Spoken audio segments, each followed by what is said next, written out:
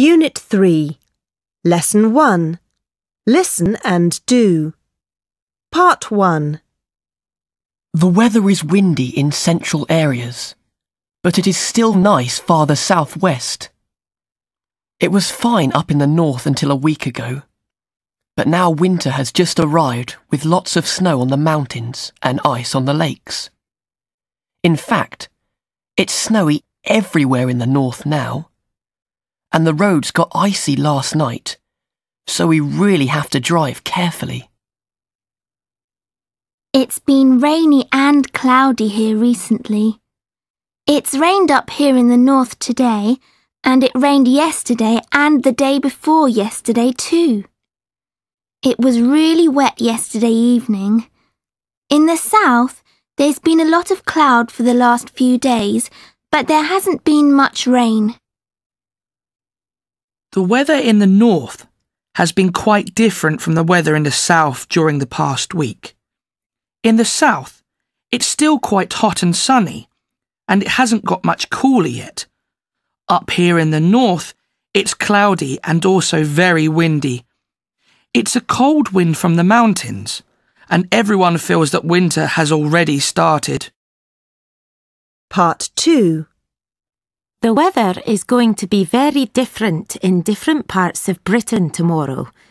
Southwest England will have a very good day and temperatures will be from 14 to 15 degrees Celsius and there will just be a very light wind from the west with speeds from 5 to 10 miles per hour. Compare that with northeast Scotland. There, things will not be nearly as nice.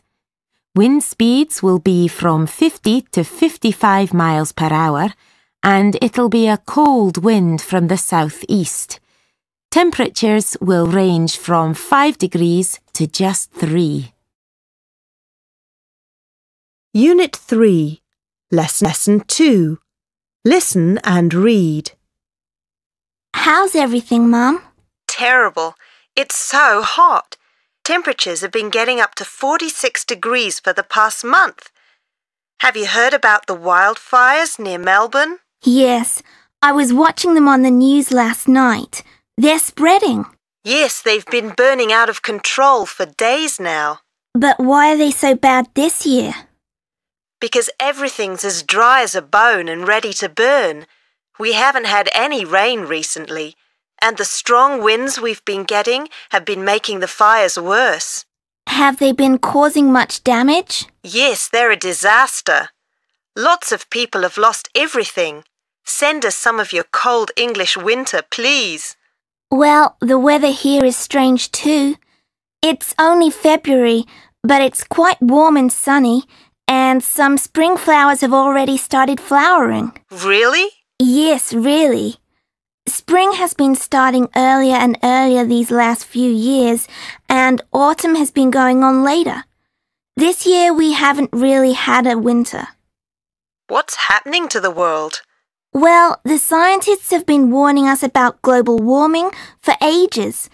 Perhaps the climate really is changing. Unit 3, Lesson 5 Listen and Speak. Part 1 Well, everyone, I uh, think most of us watched Our World on TV last night and listened to the interview about climate change. Well, now, today we're very lucky to have Dr. Mori with us here at Valley Road Comprehensive, and she's agreed to answer your questions. Who would like to start? Part 2 Dr. Mori, I'd, I'd like to ask this.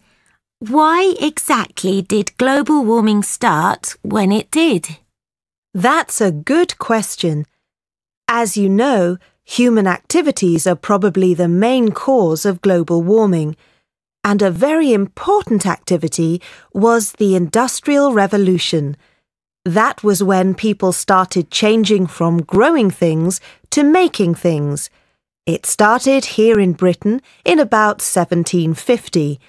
And you see, the new industries needed many new factories. Excuse me, Dr. Mori. Yes, of course. What sorts of things did they make in those factories? They produced lots of things, including, for example, cotton to make clothes and iron to make engines and other things. And these factories burned the dirtiest of the fossil fuels, coal, which produced lots of pollution and lots of carbon dioxide. But, Dr. Mori, do you mean that just this country alone caused global warming? Oh, no.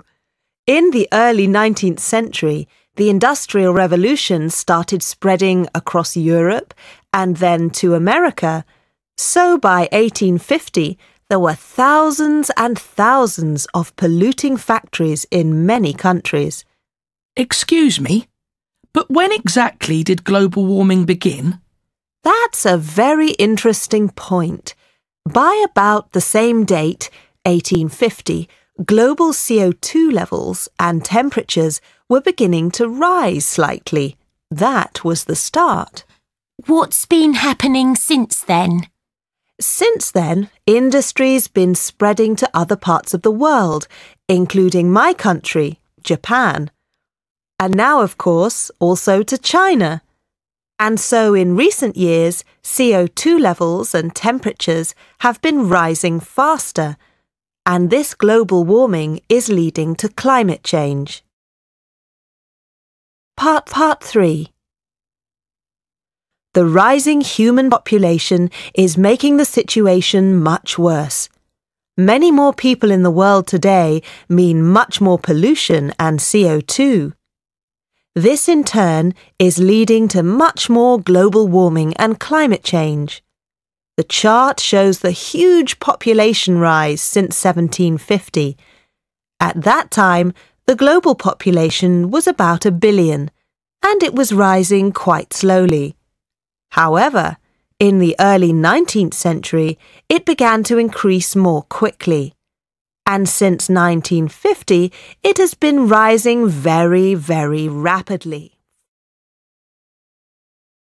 Unit 3, Lesson 6 Pronunciation. Part 1 Fossil.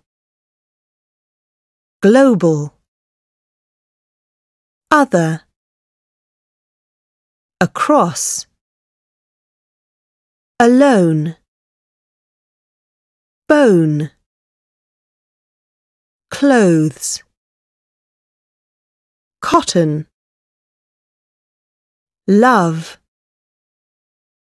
Monday. Month. Top. Part 2 Fossil fuels. Global warming other countries. Across Europe. This country alone. A broken bone. Making clothes. A cotton shirt. I'd love to talk. Monday afternoon.